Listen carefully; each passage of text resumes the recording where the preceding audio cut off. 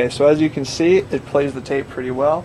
Um, now the top here, some interesting stuff that we can do is we can try the tape at a different speed. So let me put it up there and hit play. That plays it slow, and then we can go even slower.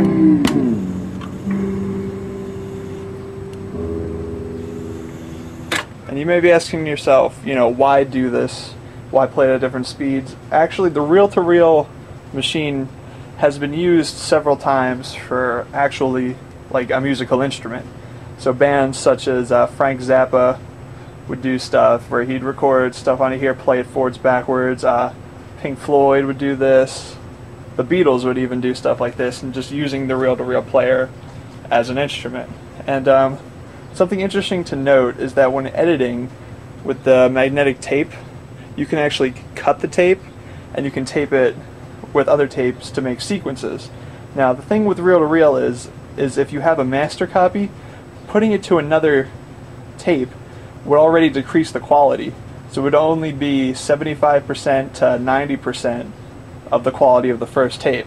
So when you're doing editing, you have to make a sacrifice to either destroy the original master tape and chop it up into pieces and then splice it together, or you'd have to make a copy and then have lower sound quality and then do your editing. So these things weren't very efficient, but they were very interesting. And uh, finally, I'm going to show you another reel-to-reel player. This is probably my favorite.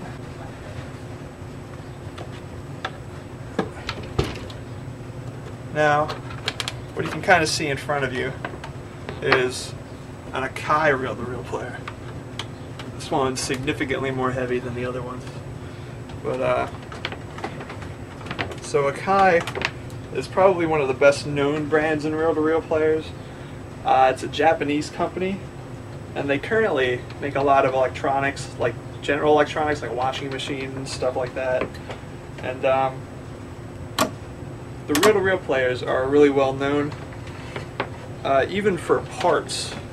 Like one of them on eBay goes for a ridiculous amount broken, something like I don't know, maybe 200 bucks for a broken one. And uh, the one that I have right now, it's in pretty good shape. It needs a new replacement cord, but uh, otherwise it's pretty good. And what I'm going to be doing with this one is I'm going to show you some of the recording features of reel-to-reel. Now this, I already have a tape threaded here. Uh, as you can see, it's a little bit more complicated. I'm going to zoom in a bit.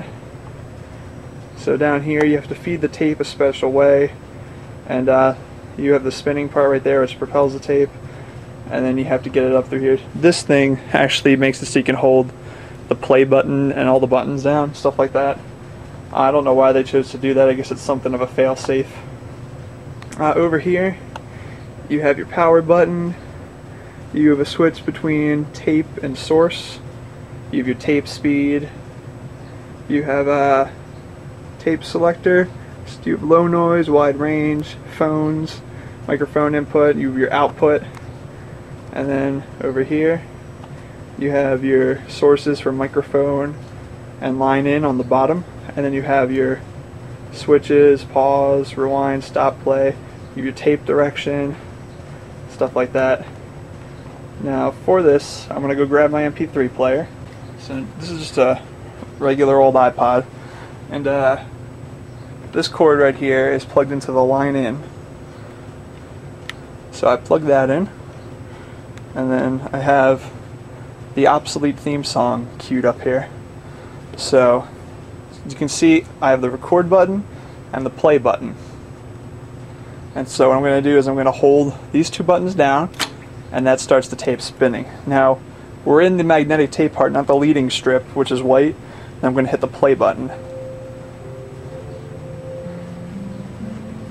And I have to switch this to source, I believe and now it's actually recording. You just heard it playing through.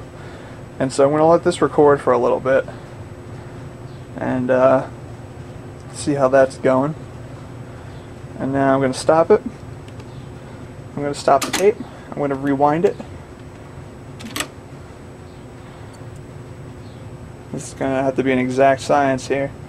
Trying to stop this tape before it runs out. Alright. Got lucky on that one. Now I hit the play button. Gotta switch this back to tape. And you should be able to hear what I just recorded. I'll just unplug the iPod.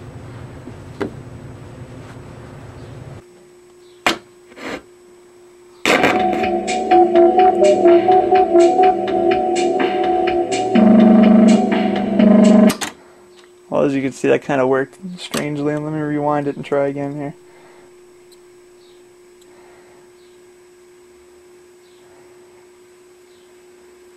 So looks like there was a couple problems with playback. It's not a perfect system, but I can at least attempt to show it off.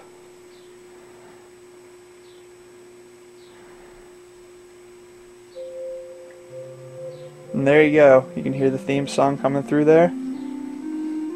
Raise the volume a bit. Now I can change the speed, make it run faster.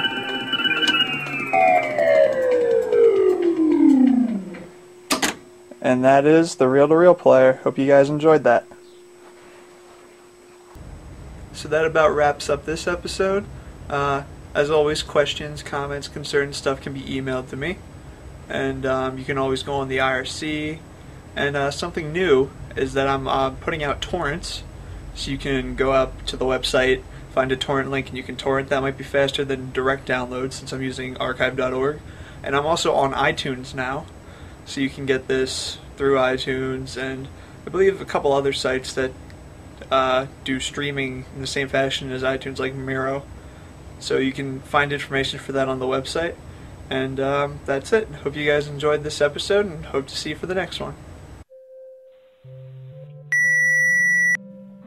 Oh, I'm sorry. I was calling for a sweepstakes. I didn't mean to call the wrong number.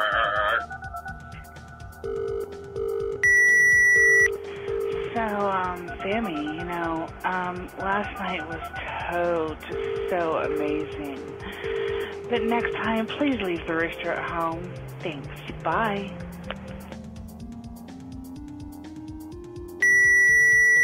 Hi, this is Nation, my way of life is based on obsolete technology.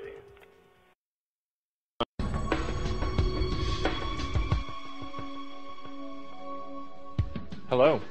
You're watching Dish Network's Pirate TV channel. Did you know you're not an authorized subscriber? That's right. I'm speaking to you on a channel that only someone receiving programming without proper authorization can view. So if you're watching me, you're a satellite pirate.